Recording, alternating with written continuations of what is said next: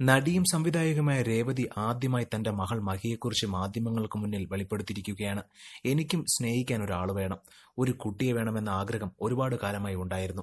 അത് നടപ്പിലാക്കാനുള്ള ധൈര്യം വന്നത് അടുത്ത കാലത്താണെന്ന് മാത്രം. എന്നിട്ടും സംശയങ്ങളായിരുന്നു.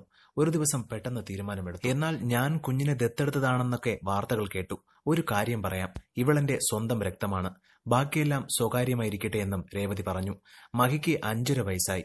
സ്കൂളിൽ പോകുന്നുണ്ട്. ഇപ്പോൾ എല്ലാ കാര്യങ്ങളും മഹിയുടെ കൂടെ ചെയ്യുന്നതാണ് എനിക്ക് സന്തോഷം. അവൾക്ക് എന്ത് വേണമോ അതാണ് ഞാൻ ചെയ്യുന്നത്. എനിക്കും അവൾക്കും കൂടി ട്രക്കിങ്ങിന് പോകണം ഗ്ലൈഡിങ്ങിന് പോകണം കാടിനുള്ളിൽ ടെന്റ് കെട്ടി കാടിനുള്ളിൽ താമസിക്കണം കടൽ കാണാൻ പോകണം അങ്ങനെ ചിന്തകൾ ഒരുപാടുണ്ട്. എന്നെ ഒരു സ്ഥലത്ത് കൊണ്ടുവന്നിട്ട് ഇതാണ് നീ എന്ന് ചൂണ്ടിക്കാട്ടി തന്നത് അവളാണ്.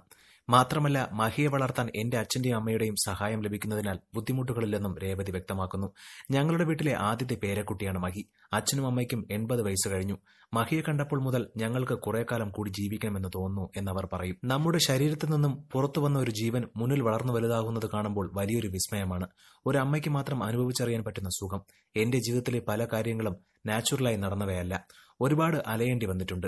ഇപ്പോഴെനിക്ക് സമാധാനമാണ്. മഹി ഒന്ന് വലുതാകട്ടെ ഞാൻ വീണ്ടും ആക്റ്റീവ് ആകും. ഭർത്താവ് സുരേഷ് മേനോനുമായി പിരിഞ്ഞു ജീവിക്കാൻ തുടങ്ങിയിട്ട് വർഷങ്ങളായി. ഇതിനിടയിൽ രേവതിക്കൊരു കുഞ്ഞ്. അതും അവരെ ഇന്നും മുന്നോട്ട് നയിക്കുന്ന കുഞ്ഞ്. അത് ആരുടേതാണെന്ന ചോദ്യം ഇന്നും എല്ലാവർക്കും മുന്നിലുമുണ്ട്.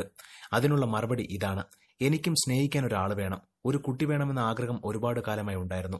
അത് നടപ്പിലാക്കാനുള്ള ധൈര്യം വന്നത് അടുത്ത കാലത്താണെന്ന് മാത്രം. എന്തായാലും ഇതിനെക്കുറിച്ചുള്ള നിങ്ങളുടെ അഭിപ്രായം താഴെ മറക്കാതെ കമന്റ് ചെയ്യുക. കൂടുതൽ വാർത്തകൾ അറിയാൻ ഈ ചാനൽ മറക്കാതെ സപ്പോർട്ട് ചെയ്ത് ഈ വീഡിയോ മറ്റുള്ളവർക്കും ഷെയർ ചെയ്ത് കൊടുത്ത് ലൈക്ക് ചെയ്യുക.